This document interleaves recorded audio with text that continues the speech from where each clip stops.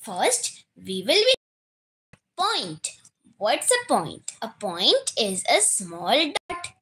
Next, it will be line segment.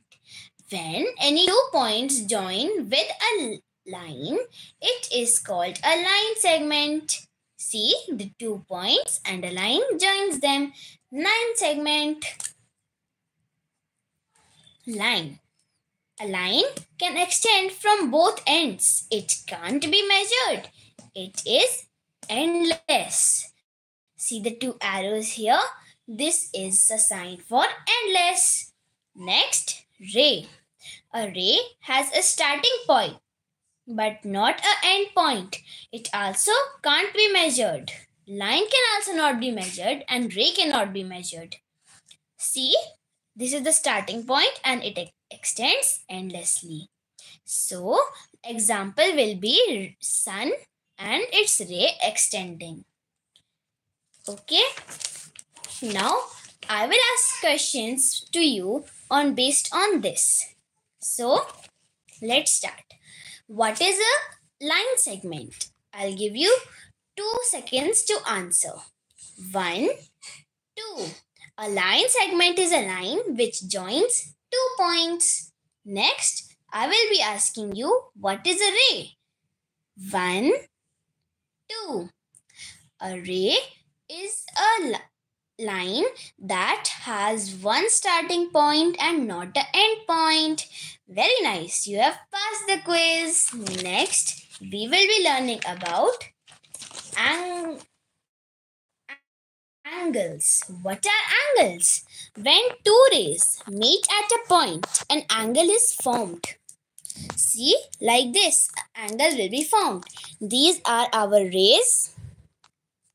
And the two rays and here's the point which they meet. The rays will be named as arms and this point will be named as vertex. The point where the rays meet is called the vertex and the rays are called the next we will be learning about exterior and interior of an angle. So let's start about. See, we have A, B, C, X, Y. C is our vertex. These will be the exterior because they are the at the outer side of my angle. And Z, it will be the interior because it is inside the angle. See, it is also explained here. Z is the interior because it is inside the angle. A, B, C, X, Y are the exterior because they are outside the angle. Next, we will be learning types of angles. What are types of angles? Types of angles can be acute, right, obtuse, straight, reflex, complete. Okay, so let me tell you about acute angle acute angle's measure is always less than 90 degree. It is made like this. See, the beak is smaller. It is the beak is like this.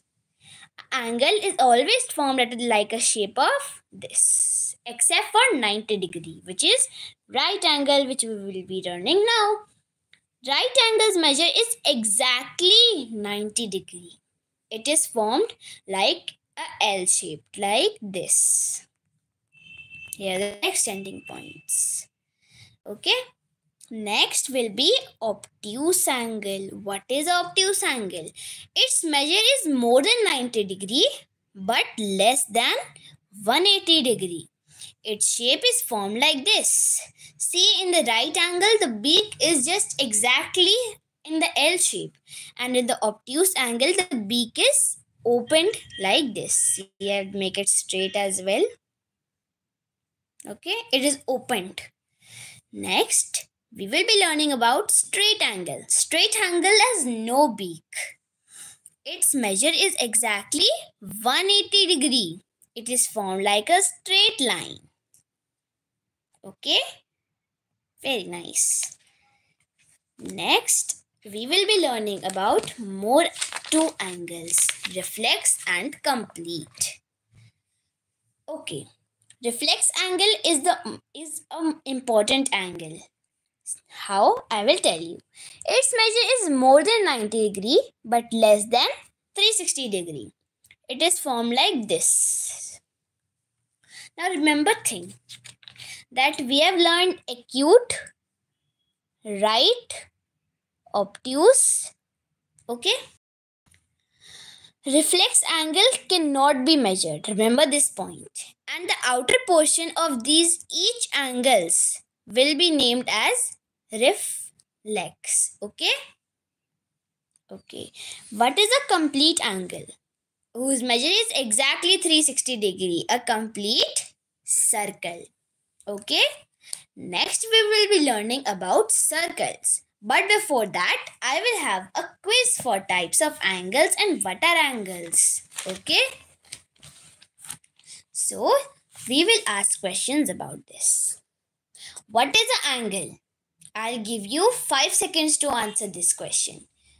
One, two, three, four, and 5. Time is up and I will... Okay? I will be asking about types of angles.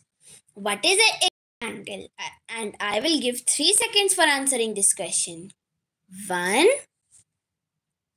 2, and 3. Time is up and I will answer now. Acute angle is a type of angle whose measure is less than 90 degree. Very nice. Now I will ask what is a complete angle. 1, 2 and 3. Time is up and I will answer now. A complete angle is a type of angle whose measure is exactly 360 degree, a complete circle. Last question but not the least. I will ask you what is a obtuse angle? Time starts now. 1, 2, 3. Time is up. And now I will tell the answer. The answer is obtuse angle is a type of angle whose measure is more than 90 degree but less than 180 degree. So now we will be learning our next topic. Circle. What is a circle? Circle has no sides and no vertex. A circle is just like this. See? It has no sides and no vertex. Okay. Next, we will be learning what a circle is made of. A circle is made up of mainly one, two, three, four, six things. Center, radius, diameter, arc and circumference. First, we will be starting with center. Center is the midpoint of any circle. Now we will be learning circumference. Circumference is my boundary of the circle. Radius, when, see, this is the center. And when a line segment joins it till the circumference, it is known as a radius. Now, diameter. What is a diameter? When two radius, when two radius meet at the center, it is known as a diameter. Chord. When any two points join, suppose this point is A, this point is B. So, this will be a chord. Arc. What is a arc? Any portion of the circumference will be named as arc. Remember that diameter is only a type of chord but it only joins till the center. Now I will tell you all about those here. Arc, radius, diameter, chord, circumference. Okay? Very nice. Now I will ask questions about circle. Okay? I will open this page so you can see the answers. Okay, so I will ask types of circles. What is arc? I will give you 4 seconds to answer. One, two, three, four. Time is up. And I will tell the answer now.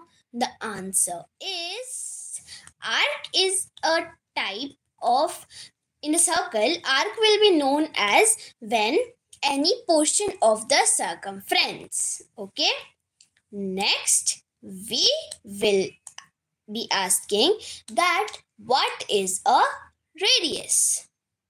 Your time starts now. One two three four.